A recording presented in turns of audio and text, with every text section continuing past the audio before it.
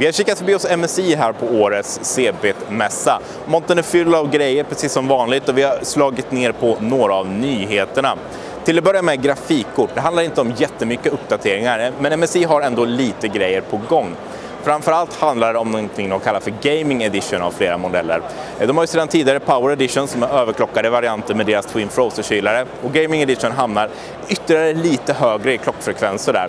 Eh, de håller på att finslipa de sista detaljerna där och tänkte lansera dem här i vår. Då. Det finns lite inklipp här som ni säkert kommer se swisha förbi, men enligt MSI då så är det inte än säkert att kortet kommer se ut så här. De kan ändra en hel del fortfarande, men de är ändå på gång här under våren och ska då pressa ut ytterligare några megahertz. Vidare modekort. Det har ju blivit lite av ett signum för den här CeBIT-mässan. Många tillverkare vill visa upp sina Z87-baserade modeller för kommande Haswell. MSI är lite mer försiktiga. De säger själva att Intel egentligen inte tillåter folk att visa upp moderkort här. Så därför så visar de endast upp en prototyp. Eh, om den här prototypen berättar de egentligen ingenting. De säger så här kommer den inte se ut, det kommer andra färger. Vi har lött bort en massa, massa komponenter och eh, ja, resten kan ni lista ut själva ungefär.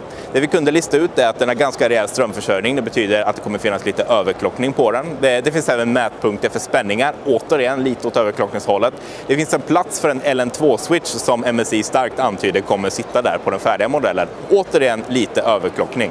Eh, dock så säger de själva att det här är inte ett toppmodekortet med, med Z87 utan det kommer komma ännu värre varianter. Men ändå, ni får väl titta på bilderna som finns här och se om ni kan lista ut lite saker om det här kommande moderkortet också.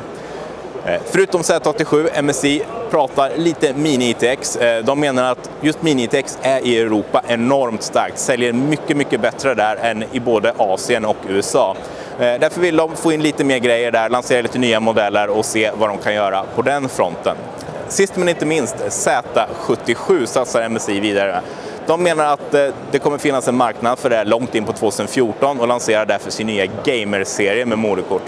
Det är lite mer avskalade varianter om man ska säga, i alla fall om man ser utseendemässigt. De har tagit bort logotyper och grejer, flyttat det till baksidan för att göra de här så att de inte ja, ser så plottriga ut helt enkelt.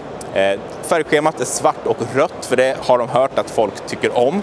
Eh, och kylflänsen har en drake på. Det var väldigt viktigt att påpeka att just den här draken är designad i Europa. Inte dåligt, inte dåligt. Eh, även här finns det möjlighet till lite överklockning och sådana grejer, även om det inte är riktigt på samma nivå som deras dedikerade överklockningsmodeller. När vi är inne på överklockning, en kul detalj med den här kommande 8-serien av moderkort som MSI berättar här, det är att just överklockningsdelen är made in Sweden. Det är Jon Sandström, Elmor och Jonas Klar, Min Machine, som har suttit och pulat fram alla detaljerna här. Och representanterna här säger att det är i princip de som har byggt hela överklockningen. Så det kan ni tänka på när ni sitter och överklockar med framtida MSI-moderkort, att ja, det här doftar Sverige helt enkelt.